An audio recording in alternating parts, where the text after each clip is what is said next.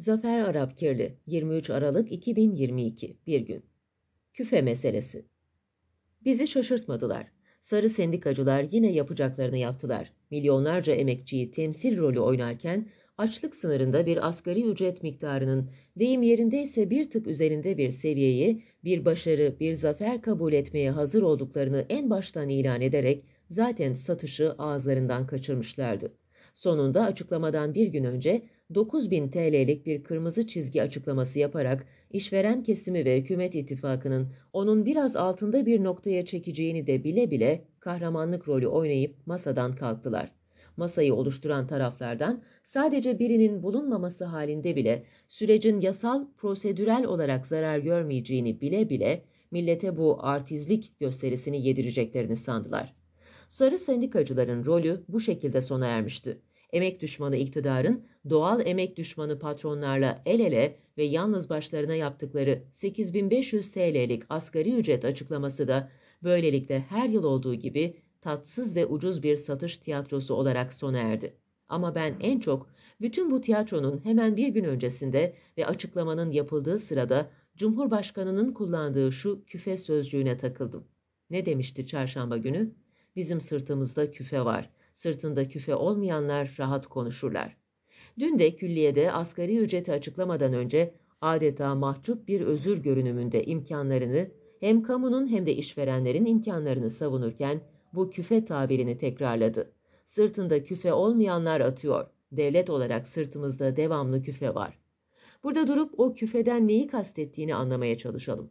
Eğer AKP Genel Başkanı 2002 yılından bu yana yapılan tüm seçimlerde iktidarı almak ve sürdürmek için vatandaştan talep ettiği sorun çözme yükümlülüğünü kastediyorsa o zaman kendisine şunu hatırlatmak gerek.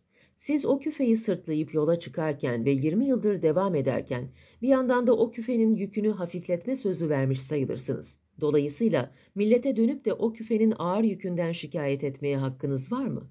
Üstüne üstlük yarattığınız ve büyüttüğünüz her türlü ekonomik sorunla o yükün daha da ağırlaştığını bilecek kadar ekonomiyi bildiğinizi varsayıyoruz. O yük enflasyon, işsizlik, eriyen TL değeri, piyasalardaki güvensizlik, dış borç, cari açık, dışa bağımlılık gibi verilere bağlı olarak sizin yüzünüzden artıyor. Yani bize dönüp de şikayet etmek samimiyetsiz bir ağlaşma anlamına gelmiyor mu? Ama eğer bu küfe sözünü başka bir anlamda yani sorumlu olduğunuz kitleleri üzmemek anlamında kullanıyorsanız o zaman da biz şunu anlıyoruz. Açıkladığınız, üzerinde tüm kesimlerce mutabakat sağladığınız değil, asgari ücrete bakılırsa bu miktarı işveren kesiminin zarar görmemesi kriterine göre belirlediğiniz, yani küfe yükünden kastınızın işverenin yükü olduğu anlaşılıyor. Emek ve emekçi düşmanı, sermaye yanlısı ortağı bir iktidardan da zaten başkasını beklemezdik. Peki ya on milyonlarca emekçinin sırtındaki küfe ne olacak? İçinizden belki de bize duyurmadan ama yüreğinizden avaz avaz bağırarak canınız cehenneme sizin sırtınızdaki küfeden bana ne dediğinizi gayet iyi duyuyoruz. Çocuğunun cebine okula giderken 10 lira bile koyamayan, sofrasına koyacağı peynir, zeytin ve ekmeğin artık mikrogram hesabını yapmaya başlayan, ayın 25'ini 20'sini değil 15'ini bile göremeyen, hatta kirayı ödedikten sonra ayın 10'unu bile zor getiren emekçi kitlelerin sırtlarındaki küfe umrunuzda bile değil.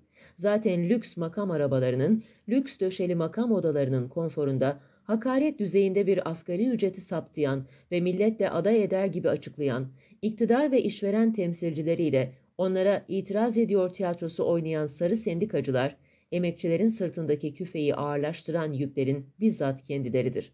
İşte tam da bu noktada bu ülkenin tüm emekçilerinin bu yükü daha iyi kavrayarak gitmeleri gerekiyor yaklaşan seçime. Bir yandan sırtlarındaki küfeyi yani bu ağır ve ayıplı yükü ilk buldukları çöplüğe dökebilmek için, emeğine ve alın terine sahip çıkabilmek için öncelikle sınıf sendikacılığının yararını artık fark etmeleri, yönetimde kendilerinin olduğu sendikaları tercih etmeleri gerekiyor. Bir yandan da emek düşmanı ve kitleleri açlığa mahkum eden bu iktidarı devirmek için sandıkta yettiniz artık demenin gereğini. Bu asalak tufeyli tayfasının bir daha bu ülkenin başına çöreklenebilme ihtimalinin bile kalmayacağı bir dönemin açılması için görev emekçi kitlelerde. Örgütlü, daha iyi örgütlü biçimde sandığa giderken bu talebi meydanlarda gümbür gümbür haykırmanın zamanı gelmiştir. Zafer Arapkirli